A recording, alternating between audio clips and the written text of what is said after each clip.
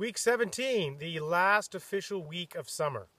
So, what's in the bag this week? Well, it's probably the last time lettuce is going to show up. Uh, basil, hmm, probably the last time we're going to get some basil.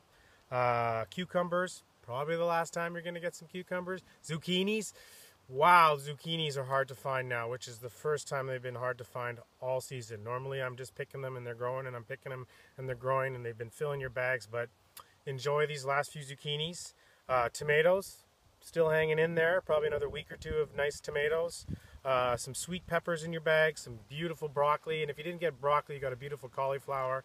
Uh, some Swiss chard, mm, some cabbage, make some coleslaw, and uh, Joi Choi. So things are changing a little bit. It's not such a full summer bag, but it's still great, and uh, we're still eating.